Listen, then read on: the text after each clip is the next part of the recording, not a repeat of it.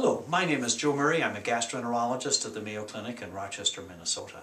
Today we're talking about a paper recently published in Alimentary Therapeutics and Pharmacology um, from Italy. This study addresses the metabolic syndrome in patients with celiac disease.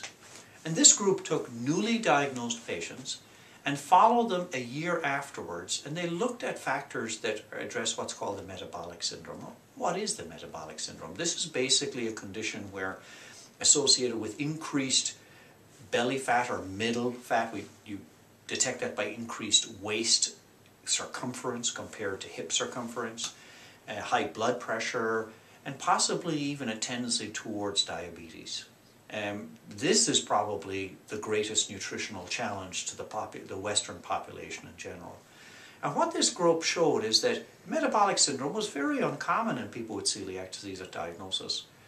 But by a year after going on a gluten-free diet, a somewhat scary percentage of these patients now fulfilled the European criteria for metabolic syndrome.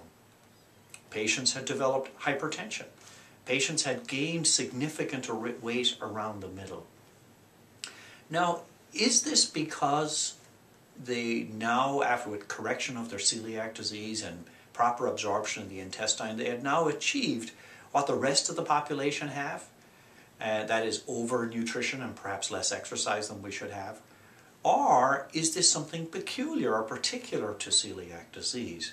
And there are other diseases where once the disease is detected and treated and people regain weight they've lost, they don't regain healthy weight. They regain fat weight, especially around their middle, which seems to be particularly damaging. The second is there something about the food included in a gluten-free diet that may drive this syndrome.